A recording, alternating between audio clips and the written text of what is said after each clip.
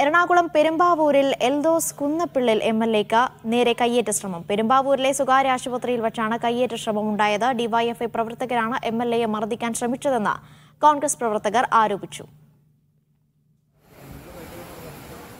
റാഫി കരീമുണ്ട് വിവരങ്ങൾ നൽകാൻ കൊച്ചിയിൽ നിന്ന്. റാഫി എന്താണ് സംഭവിച്ചത്?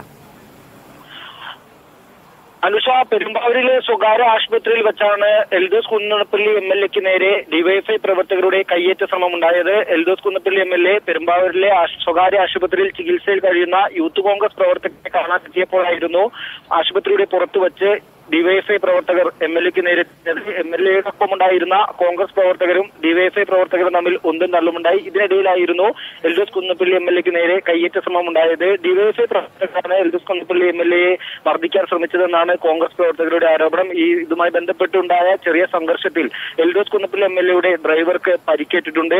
എം എൽ എയും ഒപ്പം തന്നെ ഡ്രൈവറും ഇപ്പോൾ പെരുമ്പാവൂരിലെ സ്വകാര്യ ആശുപത്രിയിൽ ചികിത്സയിലാണ്.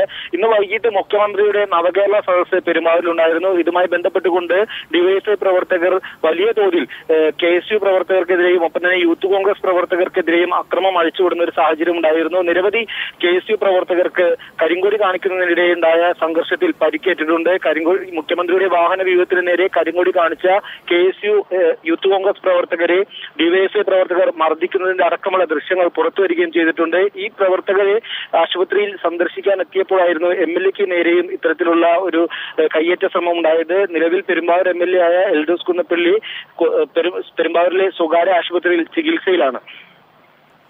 ശരി റാഫി.